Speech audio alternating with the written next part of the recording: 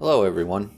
Here in video number 6 of the series, I'll be installing the Y-axis ball screw assembly and also cutting and drilling into the cast iron base to extend the Y-axis travel. The Y-axis ball screw assembly from the kit is a double nut ball screw style. Having a double ball nut setup reduces backlash more effectively than having a single ball nut. Backlash is caused by a loose fit between the ball nut and the ball screw, and with a double ball nut, the fit can be made very tight. One of the downsides to having a double ball nut is that it is twice as long as a single ball nut, and if clearance is not made in the casting, then the y-axis travel will be reduced by a couple of inches. In its stock configuration, the G0704 has a cross travel in the y-axis of just under 7 inches. Installing a double ball nut without modifying the casting will reduce that cross travel to around 5 inches. Since I'd like to maintain as much cross travel as possible, I'm going to cut into the cast iron base. When I started this project, I looked around the internet for information on where to cut and how much to cut, but I didn't find anything that was definitive. As a result, I just sort of set off on my own, and this is how it went.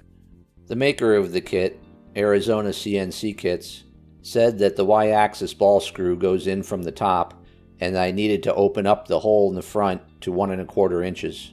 He also said that I could open up the slot on the top to gain a little more cross travel. As we go along, you'll see that I actually took more material out of the top slot than I needed to. I laid the double ball nut on the top of the casting and traced around it to get a rough idea of where I needed to cut. The cast iron is only about a quarter inch thick in that area, and I used a reciprocating saw with a blade with carbide teeth. A cheaper bimetal blade probably would have worked for such a small cut, but the carbide tip blade cut through it like butter. Once the two longitudinal cuts were made, I needed to make a cross cut. For this cut, I bought a carbide tip blade for a multi-tool that I had. With such small teeth, it cut much slower than the reciprocating saw, but it completed the cut in less than five minutes. Here you can see the thickness of the cast iron with carbide blades, it really wasn't much of a problem. The cuts aren't very pretty, but they're no rougher than the iron casting. With the slot on the top opened up, I turned my attention to the hole in the front. The only tool I have for enlarging the hole is a half inch cordless drill. I didn't have an inch and a quarter drill bit, but what I did have was an inch and three eighths step drill bit. So I figure I'd start with that and see how it goes. I ran the step bit in up to the inch and a quarter step, and that's where I stopped. I tried to finish out the hole using a half inch end mill in the drill and cutting sideways, but it was just too slow going. Eventually, I decided to just go and buy an inch and a quarter hole saw.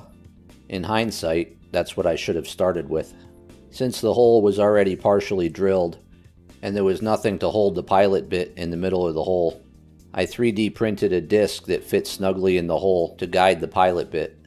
The hole saw was just bimetal rather than carbide, but it still cut through the cast iron without much trouble. After just a couple of minutes of drilling, I had an inch and a quarter hole in the casting. Now that I could get the ball screw assembly into the casting, I could see more clearly where I needed more clearance. I needed to open the slot on the top just a little bit wider. For this task, I used a 4.5 inch angle grinder. Here you can see where the ball nut assembly moves into the little bit wider section of the slot. I probably could have left the front inch and a half of the casting in place, but I don't think it'll hurt anything. Here's what it looks like with the ball nut at the full Y negative limit of travel. You can see where the end of the ball nut is going to protrude into that new inch and a quarter hole. The next order of business is dealing with the clearance for the cross braces at the bottom of the casting. I laid the mill over to get a view of the bottom of the casting. Here you can see the cross braces. The ball nuts come with a grease fitting installed, but there's no clearance for the grease fitting once the assembly is installed in the mill. I 3D printed some shallow 6mm screws just to plug the hole where the grease fitting was. But as it turned out, the clearance was so tight that even the 1.5 millimeter screw head hit on the casting.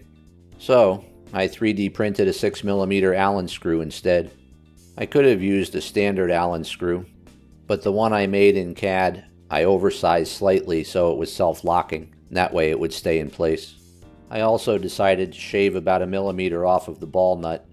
It wasn't actually necessary, but I had the grinder handy and why not? Here you can see the double ball nut assembly. The two ball nuts are separated by a spacer that is ground or shimmed to provide a preload on the two ball nuts. This makes for little to no backlash. Here, at the top of the ball nut, you can see a key that locks the two ball nuts together. On my assembly, that key kept lifting up out of the slot and wouldn't stay put. So, as a fix, I 3D printed a thin cylinder that would fit over the ball nut and hold it in position. It was a snug fit, so it's not going anywhere. The only reason I mention this is because you'll see this cylinder a little later in some pictures, and I just wanted to explain what it was. Next, I installed the stepper motor mount and the shaft coupling onto the ball screw. I mentioned in my first video that there was going to be successes in this build and also inevitable failures. Well, here's one of the failures. For this next bit, I'll have to talk a little bit about the saddle. In order for the X-axis ball screw assembly to be installed, some slots have to be cut into the saddle to make clearance for the ball nut. To make the cuts, I didn't have access to a second milling machine. I also don't have a drill press, and the angle grinder didn't seem very appealing either. My plan was to buy a second saddle, and while my milling machine was still together, I could mill the slot in the new saddle, then reassemble the milling machine with the ball screws and the newly milled saddle, and once it was together, I could use the milling machine to mill the slots into my original saddle. And then put the original saddle back in the mill and sell the second saddle on eBay or Craigslist or what have you. And then this happened to the new saddle. Any experienced machinist probably knows exactly what happened here. But of course, I'm not an experienced machinist, and I learn from trial and error. And here was an error. Since I've owned this mill, I only ever milled aluminum on it. This is the first time that I've ever milled cast iron. What happened was the end mill was slipping in the collet, and it pulled itself deeper and deeper into the work as I was milling the slot. It was the first time I had experienced this, but apparently it's not an uncommon problem. And the solution is to use an end mill holder instead of a collet.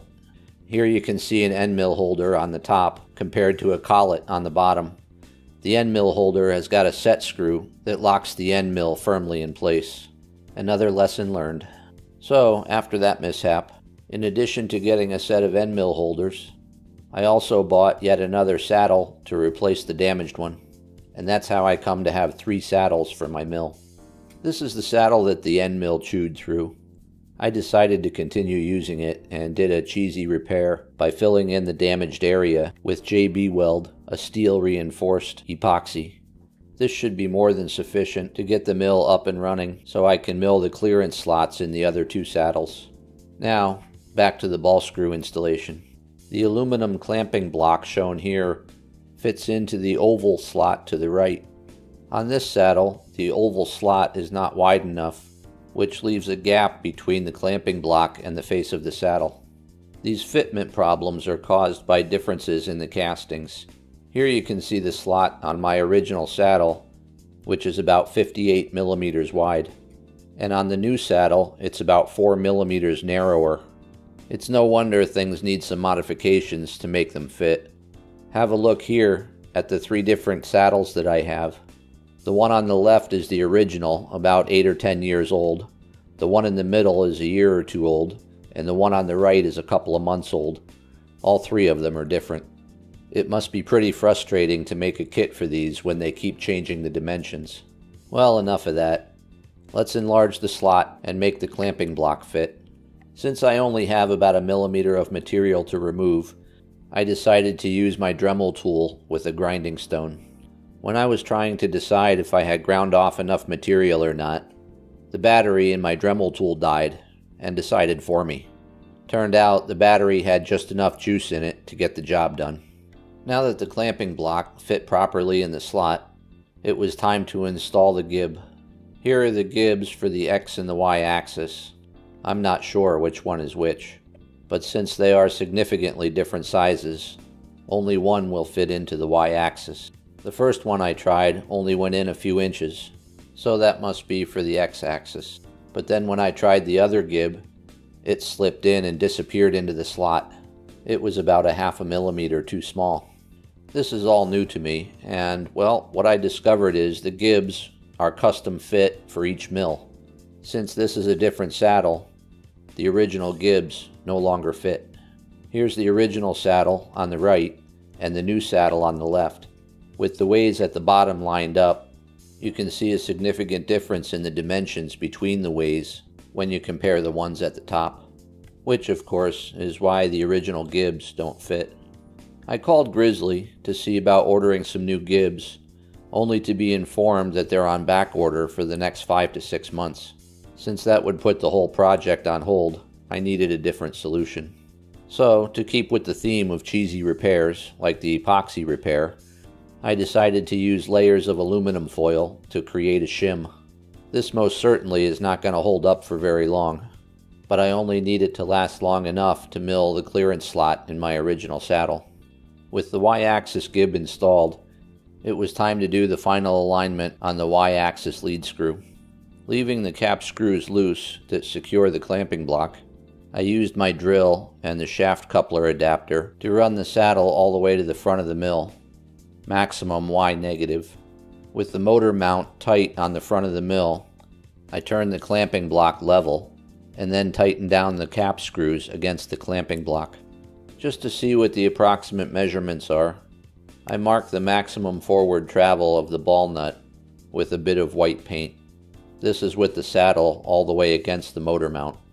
Then I remove the saddle, positioned the clamping block at that forward location, and put a dab of white paint on the ball nut cylinder.